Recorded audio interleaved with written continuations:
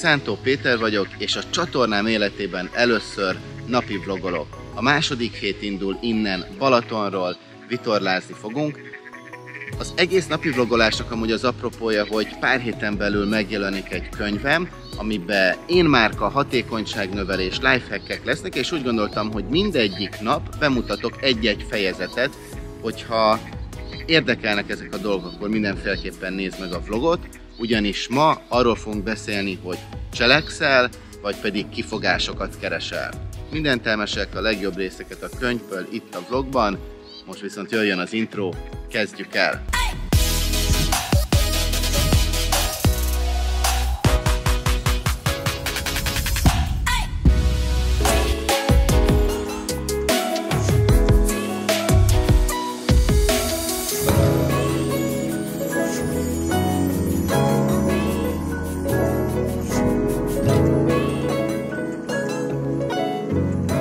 Nekem nincs vak szerencsém.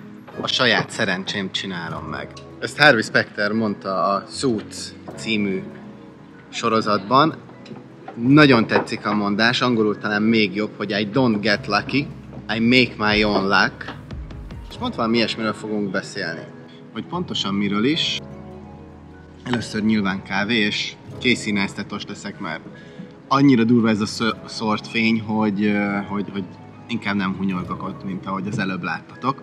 Ugye a vlognak a témája és a harmadik fejezet a könyvben, hogy cselekszel, vagy kifogásokat keresel, és volt egy haverom, már annyira nem is vagyunk jóba, aki mindenre igent mondott, és persze jó, hogyha jeszmenek vagyunk, de úgy legyünk jeszmenek, hogy tudjuk, hogy azt az adott dolgot meg is tudjuk csinálni, ő meg ilyen kapkodva kereste a lehetőségeket, és mindenkinek segíteni akart, tehát jó szándék vezérelte, de de mindig túlvállalta magát, semmire sem tudott ráfókuszálni, és ezért, amiket megígért, nem tartotta be, nem volt ott ez a százszázalékos fókusz, és nagyon sok ember, többek között én is csalódott benne. Talán te is ismersz ilyen embert. A probléma ott van, hogy hiába jó szándékú, aztán meg az emberek számon kérik, hogy de figyelj, ezt meg ezt ígérted, miért nem csinálod meg, és utána még ő érzi azt, hogy a másik mekkora parasz, hogy számon kéri, pedig ő csak segíteni akart, és innen jön az, hogy elkezd kifogásokat keresni. Jaj, nagyon szeretném, csak ez meg ez közbe jött, figyelj, rajta vagyok, csak de, de, de. És mindig a kifogásokat keresi. A kifogásokat keresi ahelyett, hogy, hogy cselekedne és beleállna, hogy figyelj, ezt vagy azt én elrontottam, de megpróbálom, megpróbálom rendbe hozni rá kell jönni, hogy senki sem lehet ennyire szerencsétlen, hanem sokkal inkább magunkba kell nézni, magába kell nézni az embernek, és átgondolni, hogy milyen változtatásokat eszközöljön az életébe, valamint mik azok az új szokások, illetve a rossz szokások, amiket meg kell szüntetni, és mik a jó szokások, amikkel ezeket ki lehet iktatni. Ha nem ha nem vállaljuk fel, akkor, akkor sokkal nagyobb károkat is szenvedhetünk. Sajna nincs egy nagyon jó vitorlásidő, de mindjárt elmesek valamit, csak ahhoz mutatnom kell, hogy nézzétek! Ott, ott edzenek, ilyen vitorlás tábor van gyerekeknek. És most azért nézem ilyen érdeklődéssel, mert Jövő héten kezdem el a vitorlás jogsit, ez egy sok éves álmom volt, és most ugye, hogy 2020-ban a vírus miatt nem annyira mer az ember utazni, úgy gondoltam, hogy most utazás helyett végre belevágok, és én is megcsinálom a, a jogsit, nagyon izgalmas. Hmm, szerintem azért lassan ki fogunk, ki fogunk hajózni. Ott folytatom egy gondolattal.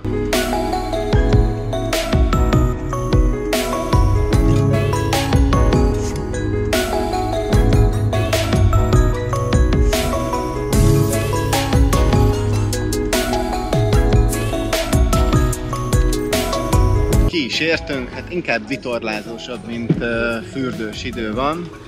De a lényeg, hogy, hogy nézz vissza az életedbe, és gondolj bele, hogy voltál már olyan szituban, hogy uh, másokat hibáztattál azért, ami, amiért te voltál igazából a hibás.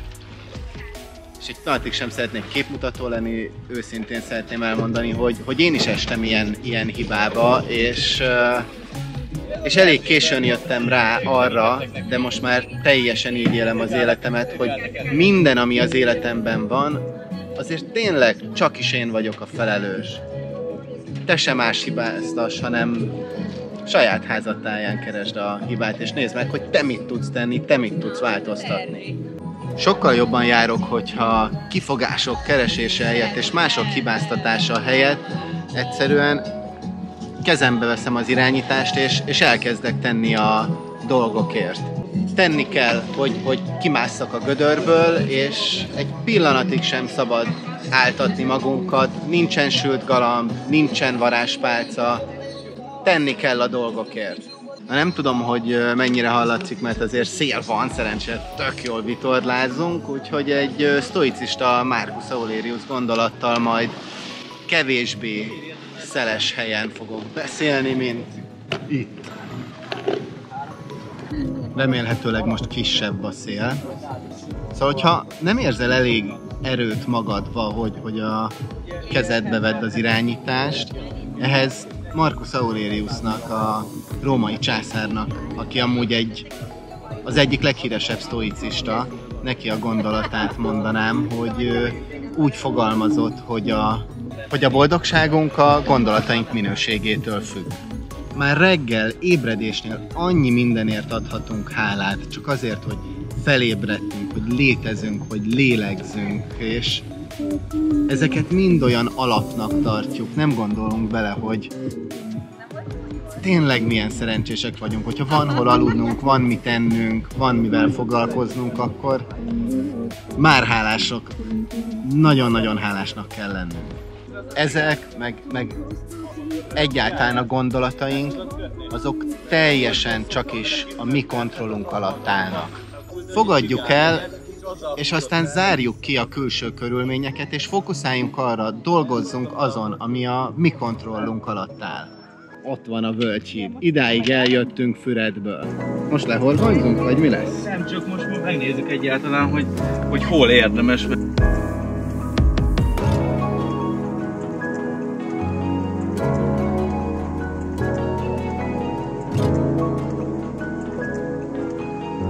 Van egy sztori, amit el szeretnék mesélni.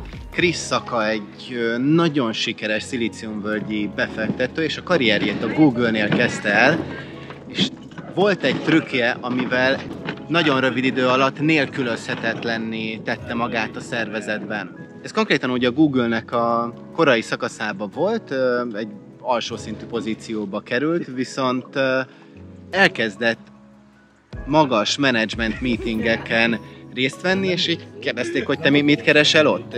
Annyit mondta, hogy hát jegyzetelek nektek, hogy ne kelljen másnak jegyzetelni, és tudjatok arra fókuszálni, amiről, amiről beszéltek. És ez annyira tetszett nekik, hogy jó, gyere, csináld, és nek profi jegyzeteket készített, de ezzel rövid idő alatt szinte nélkülözhetetlen szerves része lett azoknak a megbeszéléseknek, és a karrierjében meg nagyon gyorsan tudott előre lépkedni erre ráépítem a saját példámat, konkrétan a vlogolást, hogy most már több mint három éve vlogolok, és egyáltalán nem ott tart, ahol én hittem, vagy gondoltam volna, hogy tartani fog.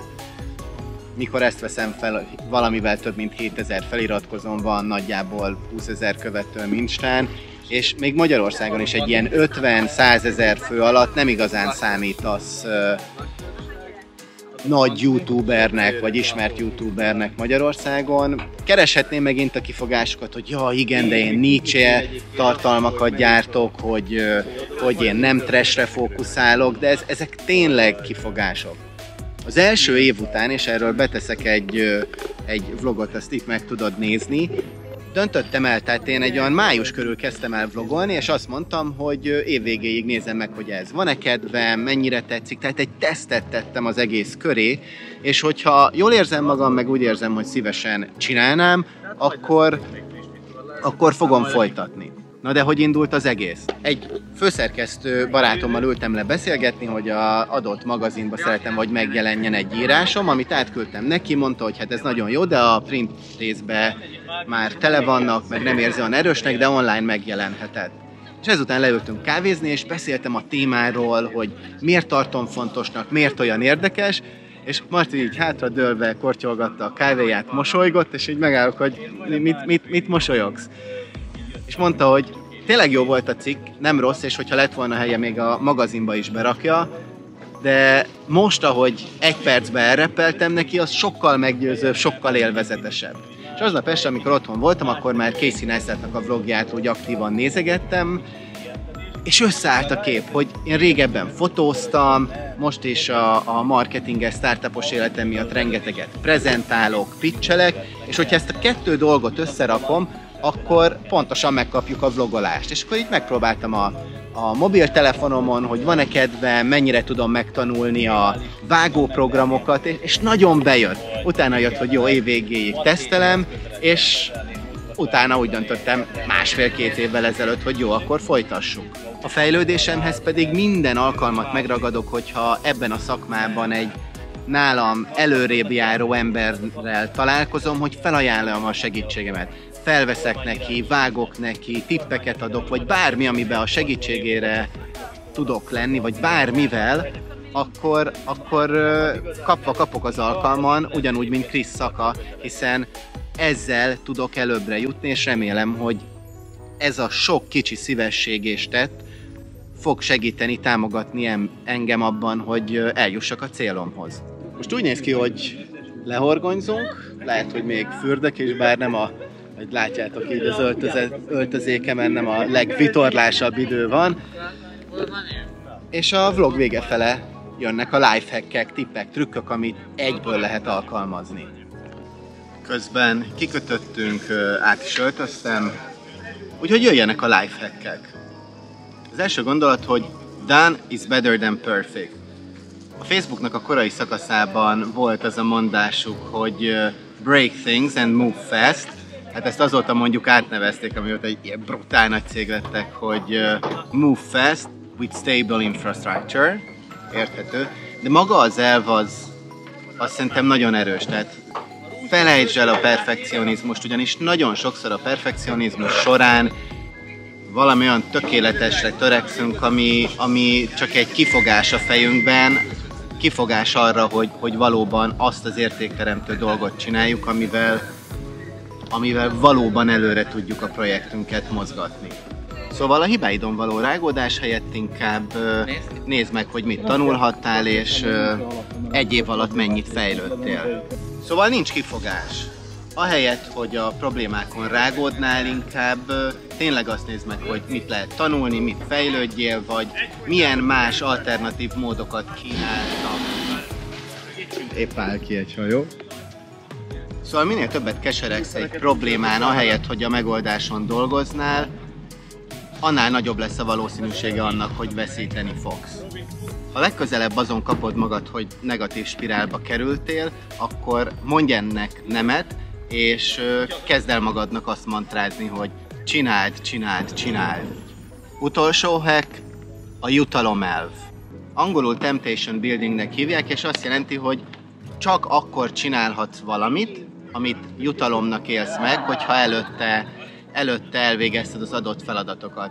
Én például, amikor még nem tudtam belevenni rutinszerűen az életembe azt, hogy lejárok mondjuk hetente háromszor, négyszer edzeni, akkor azt mondtam, hogy csak a, akkor találkozhatok a barátaimmal mondjuk borozni, sörözni, vagy mehetek el valahova, hogyha előtte elmentem aznap edzeni. Baromi jól működött. A végére beteszek egy videót egy lányról, aki felvette az egy év alatt lévő fejlődését, meg akar tanulni táncolni, és ez óriási szó, de kb. én jobban táncoltam nála. és mindennapi gyakorlással egy év alatt olyan szintre fejlődött, hogy akár Beyoncé háttértáncsosának is elmehetne nagyjából. Ebbe a vlogba ennyit gondoltam, elindítjuk a hetet, mi meg még kimegyünk egyet vitorlázni, és ha most találkoztunk először és végignézted, ha tetszett a videó, nyomj egy lájkot, illetve oszd meg azzal, akinek ezek a gondolatok segítségként vagy inspirációként hatnak. Iratkozz is fel, nyomd be a csengőt, gyere át Instagramra, mert most a könyvemről mindig valamilyen érdekes gondolatot, idézetet megosztok a, ezekben a hetekben, hónapokban valamint előrendelhető a könyv. Link a leírásban, illetve az online képzéseim már live-ok, úgyhogy ha szeretnél, akkor iratkozz be, vagy próbáld ki az ingyenes verziót. Köszönöm szépen, hogy itt voltál, itt voltatok. Holnap találkozunk. Sziasztok!